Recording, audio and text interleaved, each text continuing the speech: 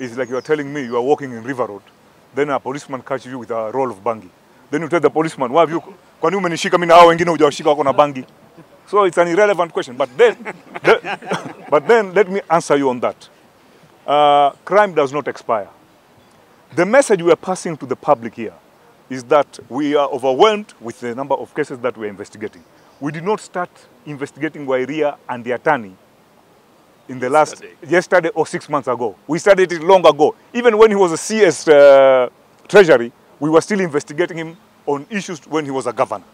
Now, the things that are now ripe, we have all the evidence that when we lock on them, they'll have a case to answer, is when we arrested them. So, there is nothing like, and this is a message that the current governors, ni endeleeni kuiba, but pole pole will get hold of you. So, it's a message. And the issue of saying uh, it's political, you know, that is the song of politicians. When, they are, when, you arrest, when you arrest a policeman, there's a famous Twitter handler who will say, these guys just go for small fishes and uh, petty, petty cases. The way the chairman has said, when we go for politicians, mumetumwa. When you arrest somebody who is in the government, you have been bought by the opposition. When you go for somebody in the opposition, you have been bought by the government. So this, this is common noise we are used to.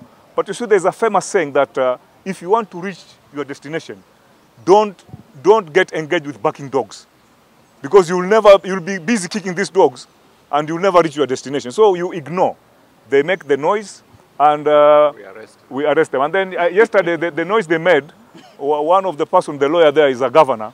His, his, his county, we have even focused, it is on uh, our red flag.